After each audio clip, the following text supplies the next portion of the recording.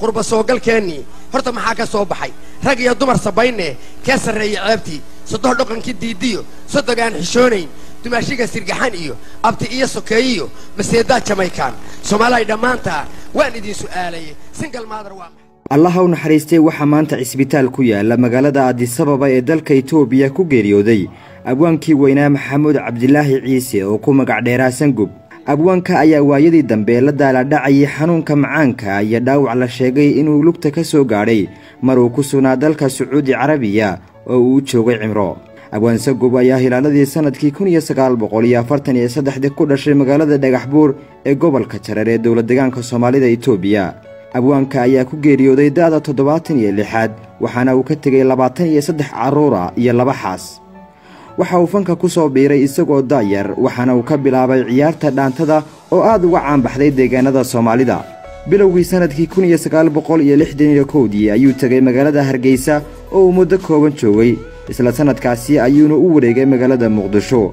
Waxa uu abwaanku caan ku ahaa samaynta riwaayadaha iyo curinta heesaha waxaana uu lahaa heese iyo riwaayado badan oo ka caanbaxay deegaanada soomaalida. Riwaayadaha sida weyn loogu xasuusta waxaa ka mid ahaa waa maadays adduunyadu dadkuna way matalayaan. Qabrigii jacaylka xuskii jacaylka xuud baalliqay jacaylka iyo qabya uu sameeyey burburkii kadib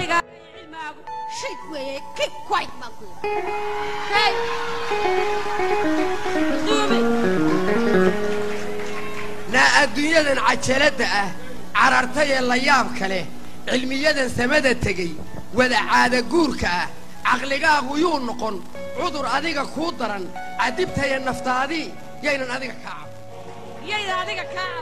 sidoo kale riwaayadaha xorriyo maadays garima kaa baxdaa nimba tacabkii tolyow kaa maal iskuma qaddo xaajo ugub geedigii kaa lumay halkay qoontu taal dhakhtarkii qaliwaa iyo kuwo kale oo ay ka mid tahay afrikoy hurudoy ayuu ka qayb qaatay.